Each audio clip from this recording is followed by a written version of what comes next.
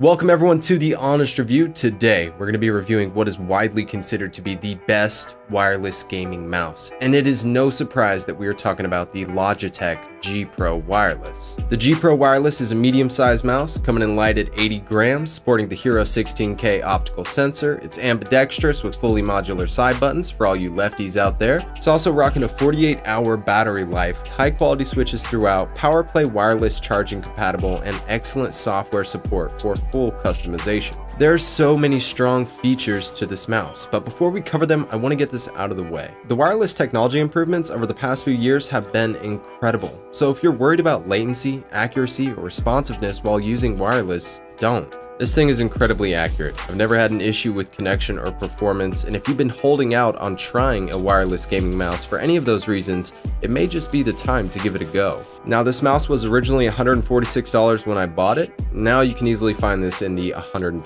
ballpark. That's still a pretty big price tag considering some of the competition from the glorious Model O and Model O Minus, the G-Wolf Skoll, and the Cooler Master MM710 that just dropped. All of these mice are 60 bucks or less. They're very light from 67 grams down to 53 and all very well built. So is it worth the extra weight to go wireless? I'll tell you what, I'll give you this honest review and experience from using this mouse and you tell me if you think it's worth it. Out of the box we get our matte black G Pro wireless, 6 foot micro USB cable, wireless USB hub which is for the USB dongle, and an additional 10 gram weight for heavy mouse users. And last but not least, we have our side button replacements and dummy covers for our ambidextrous users. The 6 foot USB cable pairs to our USB hub that holds the wireless USB dongle. That's a lot of USBs. This setup sits just above your mouse pad. This configuration is how the Lightspeed Wireless achieves wired-like connection, and it works great. I can't tell the difference going from wired to wireless mice when using this, and having no cable drag and weight affecting your aim is pure joy.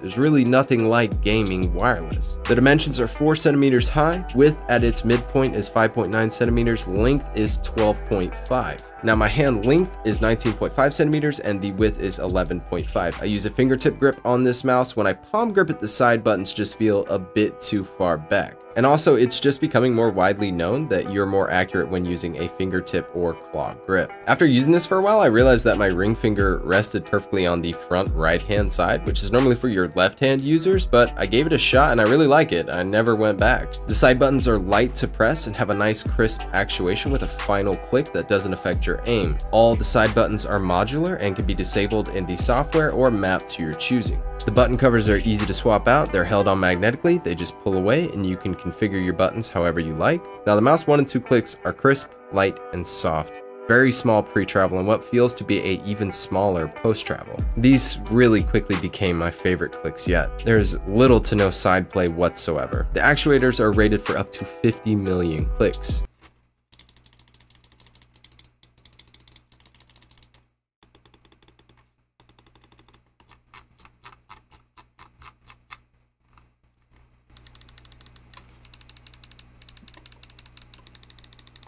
Scroll wheel has been thinned out to reduce weight, thin rubber ridges covered the width of the wheel, smooth tactile steps, and I have no complaints. Now the Mouse 3 is a very light press surprisingly, definitely an easier press than the other mice that I've tried out. Now for the Hero 16K optical sensor, it's Logitech's best yet and one of, if not the best sensors out. Zero filtering and acceleration applied and very clean one-to-one -one tracking. Software will take you from 100 to 16,000 DPI at intervals of 50. Now, I'm sure nobody's going to be using this mouse at 16,000 DPI, but hey, it's there if you need it. Now, the G Pro Wireless was designed with input and collaboration from esports professionals, and the professionals said the DPI toggle switch should be on the bottom of the mouse to avoid any accidental DPI switches in game. And Logitech did just that. You can create up to five different DPI profiles and the top LED cycle letting you know which DPI setting you are on. The lighting control is very well done in the software, and I must note that you never see the RGB while using this mouse because it's always covered up by your palm. I almost feel as if they should have left this out to reduce weight. I do opt to turn this off as you'll never see it while using it, and you gain a bunch of battery life by leaving it off. The pros also recommended that Logitech add another mouse skate at the rear of the mouse to help with smoother glides and the lifespan of the mouse feet. I like these skates, super smooth, even on cloth pads, and they really come to life on hard pads. Lift-off distance was also very well done, so low DPI users, no worries there. The side structure and shape reminds me of the G403, but with mirrored sides. Overall, a great shape choice that makes me think so many people will find this easy to transition to. Larger to medium hands will easily find a fingertip and claw grip. Smaller hands will find a perfect palm grip. As far as battery life, with the RGB on, we get 48 hours. Now with the RGB off, you can squeeze out 60 hours of battery life. This thing has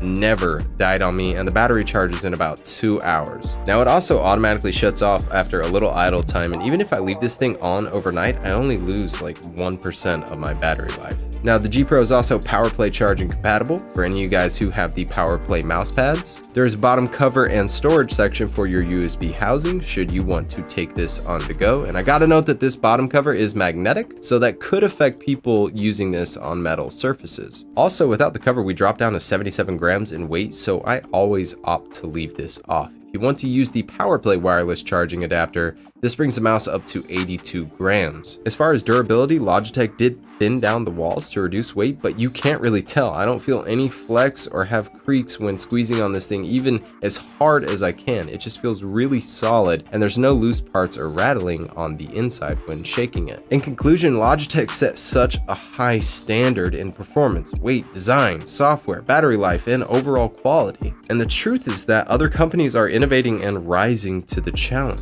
Even Logitech Logitech's own G305 wireless mouse that comes in at under 50 bucks, excellent battery life, lightspeed wireless, 12K hero sensor, and great quality and design, build integrity, and all, you have to start asking yourself, is the $120 price tag worth it? I continue to ask myself this question as I am starting trials with the Glorious Model O and Model O Minus, which come in at 67 grams and then 58 grams in weight, and the Cooler Master MM710 at 53 grams, and it's just so hard to choose. I will say that if the G Pro Wireless was 60 grams or less in weight, it would be the best mouse out, period. There is just no substitute for wireless gaming. Even though the weightless paracords do make wired mice feel wireless, it's just not the same. Now I do plan on doing the weight reduction process to the G Pro Wireless that brings this mouse down to 65 grams in weight. If you guys want to see that, make sure to let me know in the comment section below. I'm actually really excited to do this because the reality stands that lighter mice are just better in helping you be faster and more accurate. I could tell the difference right away when using mice that are just 10 to 15 grams lighter than the G Pro Wireless, and I do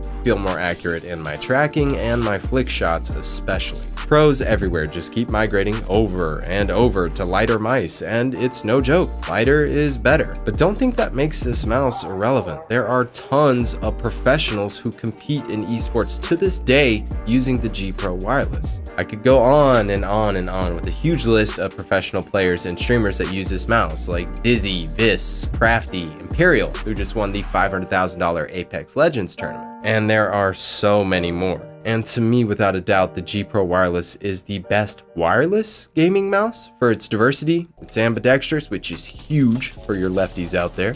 Even though it's not the lightest mouse out, it is still just 80 grams, which is light in the weight division. It has the best sensor available, excellent actuators, and a great shape and design to accommodate a wide range of users. So you tell me, is the $120 price tag worth the best wireless gaming experience.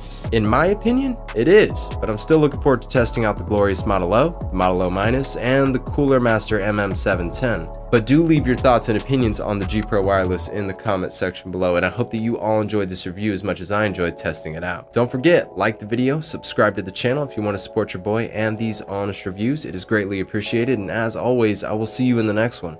Peace.